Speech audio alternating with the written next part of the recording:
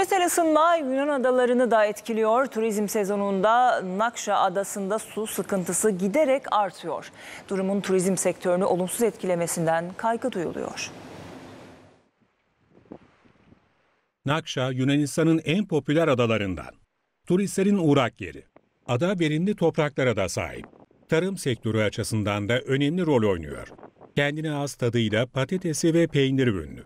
Ancak adadaki hem turizm hem tarım sektörü tehdit altında. İklim değişikliği nedeniyle Mikonos yakınlarındaki Nakşa Adası'nda su tükenmek üzere. Yunanistan'ın çoğu bölgesinde olduğu gibi Nakşa Adası da aylardır yağış alamıyor.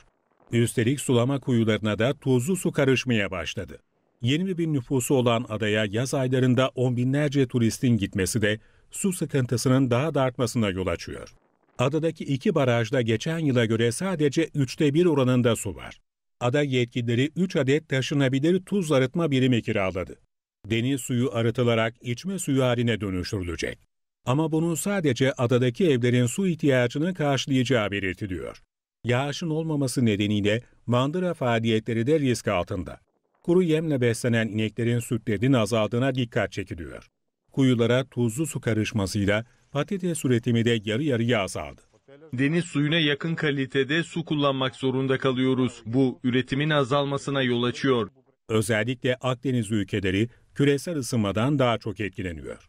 Kuraklık, sıklaşan orman yangınları ve bunaltıcı sıcakların Yunanistan'da turizm sektörünü giderek daha olumsuz etkilediğine dikkat çekiliyor.